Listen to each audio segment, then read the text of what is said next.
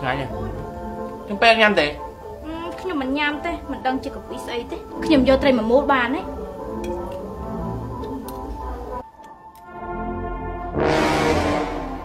មកខ្ញុំដូចភ្ញាក់ផ្អើលអញ្ចឹងបងហ៎